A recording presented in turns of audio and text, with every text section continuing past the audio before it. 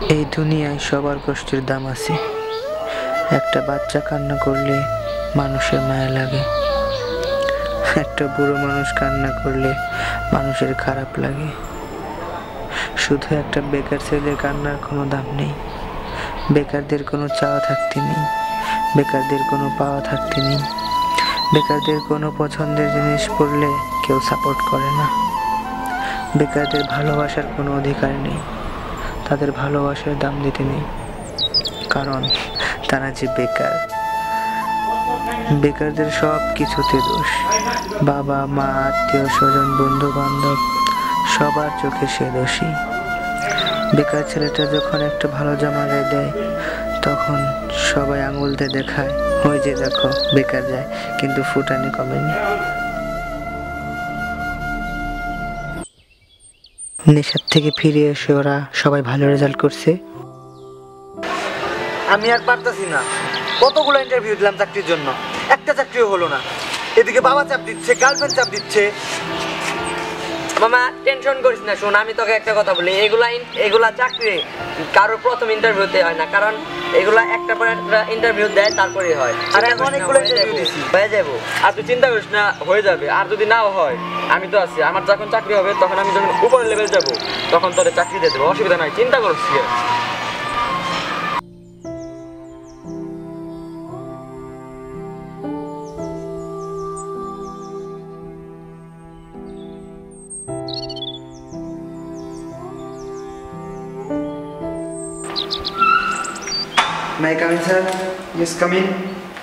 আদাব স্যার আদা বসেন প্লিজ থ্যাংক ইউ স্যার আচ্ছা আপনার নাম? আমার নাম সীমান্ত। সীমান্ত। আপনার বাবার নাম? মামুন। মামুন। ওকে তো introduce yourself my name is Seemanta. My father name is Mamun. My home district Manikganj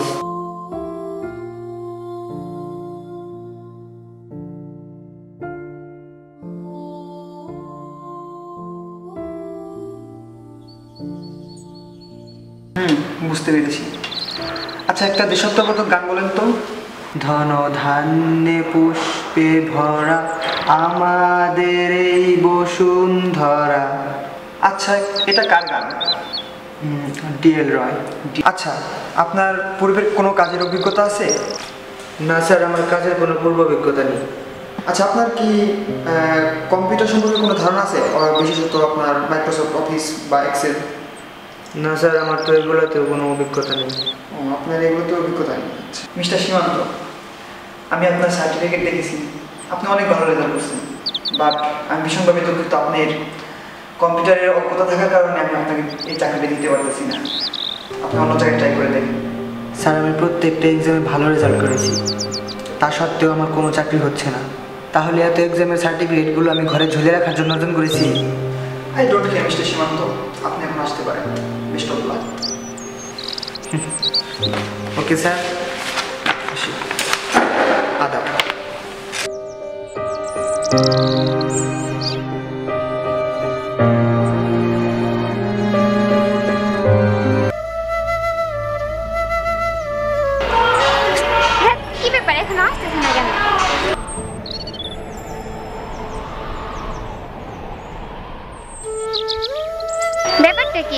এত লেট করে আসলে কেন?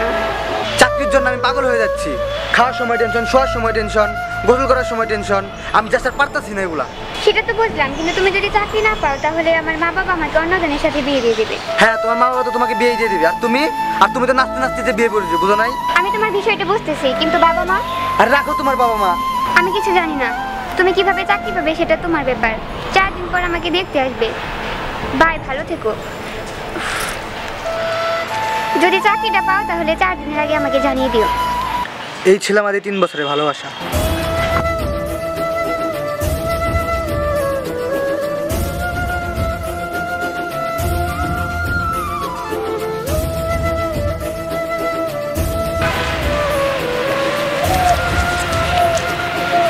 তোমার জীবনে এমন একটা দিন আসবে, যেদিন চাইলেও আমাকে আর কাছে পাবে না।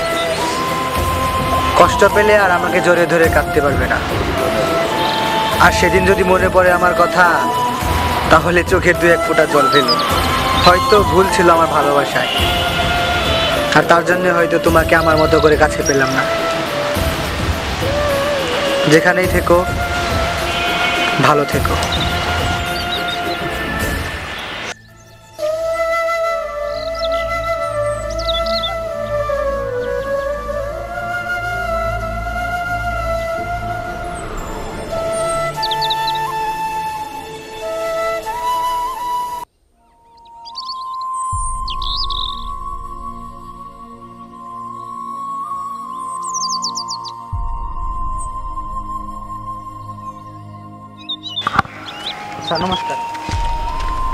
সীমান্ত।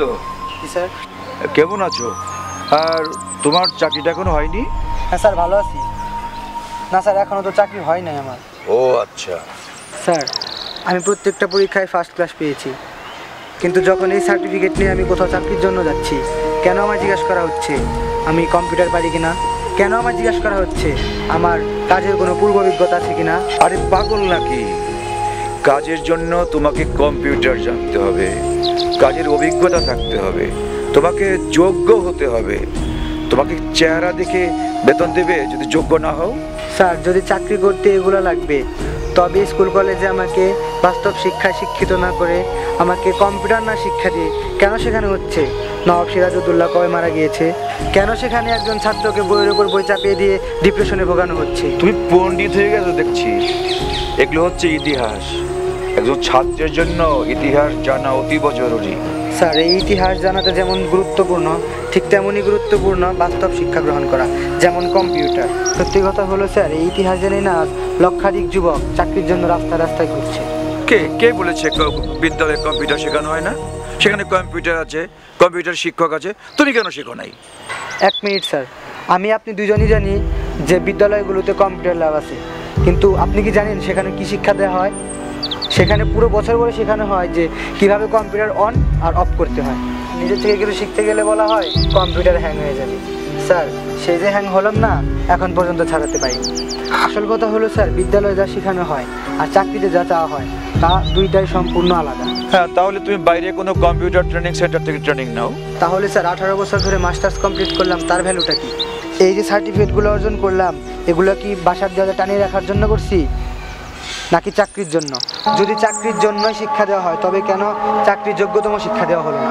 শোনো বাবা আমার একটা মিটিং আছে বারোটা বেজে গেল। এই ব্যাপারে আমি তোমার সঙ্গে পরে কথা বলব। ভালো থেকো। নমস্কার স্যার ভালো থাকবেন।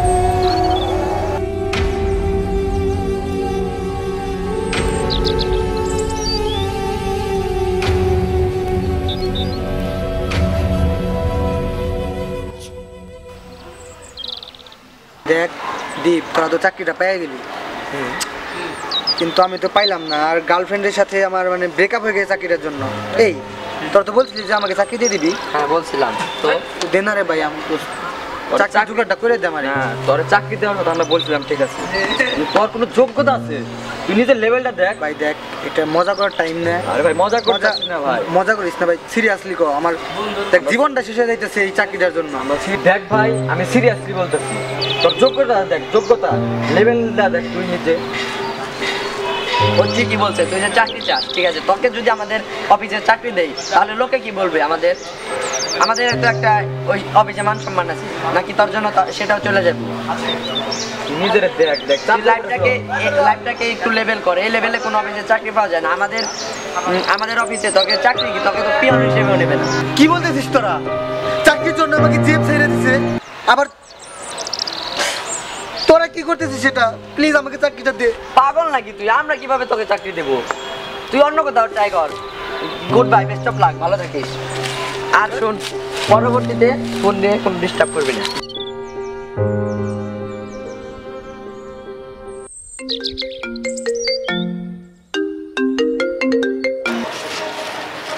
হ্যাঁ চাকরি কেন দিতে পারব না?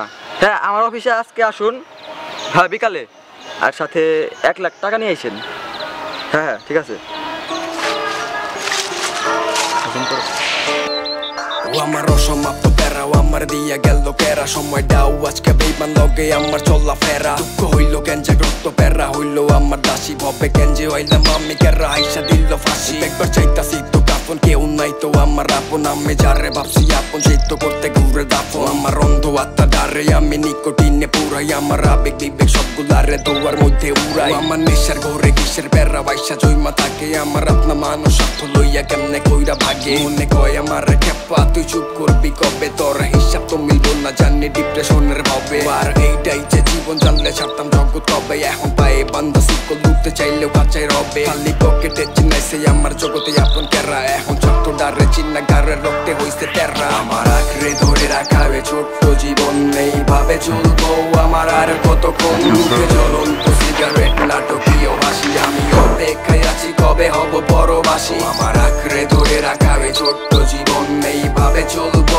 আমার আর কতক্ষণ আমার বদলে যাওয়াটাও আজ খুব প্রয়োজন আমার মন কেন ডিপ্রেশন লেখা দিচ্ছে ভাগ্য, চেষ্টা কইরা নাই লাভ ও আমার হাজার হাজার পাপ, চাইছি খোদার কাছে মাপ। নিজেরে ছাড় দিয়ে আল্লে রাইখা ভালোবাসি অন্ধকার। মুখে হাসি নিয়েও আমি বাঁচতে চাইছি আরেকবার। মনে আক্ষেপ নাই কোনো দায়িত্ব থাকতে চাইছি একা সোজা রাস্তায় চইলা পাইছি কত রকম মাইন্সের দেখা। ধৈর্য অনেক বেশি তাই এখনও হালদার রাখছি ধইরা মায়ের মুখে হাসি দেখতেও এখনও ছবি, নাটক কইরা। ভালো সময়টাতে দেখছি পাশে আপন জন ভরা তাইলে খারাপ সময়টাতে আমার কইয়া সিল্লি তরা। আর রক্তেরটা নামে জাগো, আপনা ভাই বাজাই এর চেয়ে আত্মা ডি আপন ব্লাড কানেকশন ছাড়াই। মুন্ডা কুইলা কথা কইতে চাইলে সামনে রাখছি আয়না। আর কারও লোভে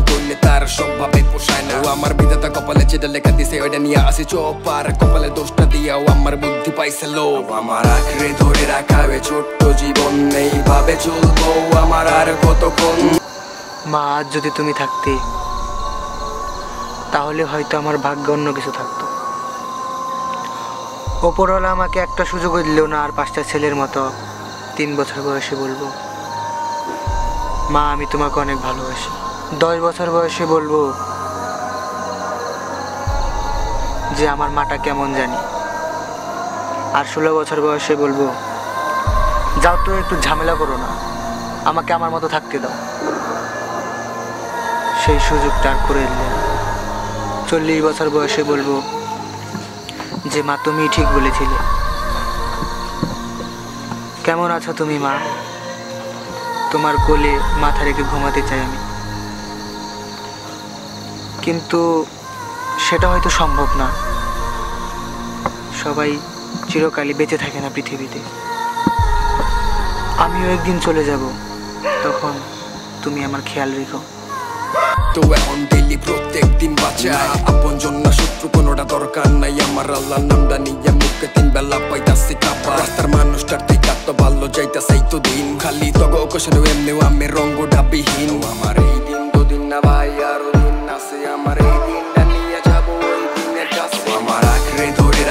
ছোট্ট জীবন নেই ভাবে চলবো। আমার আর কতক্ষণ মুখে জ্বলন্ত সিগারেট নাটকীয় হাসি? আমি অপেক্ষায় আছি, কবে হব পরবাসী? আমার আঁকড়ে ধরে রাখা ছোট্ট জীবন নেই ভাবে চলবো। আমার আর কতক্ষণ আমার বদলে যাওয়াটাও আজ খুব প্রয়োজন। আমার মন নাকি এটা দেয় কেন ডিপ্রেশন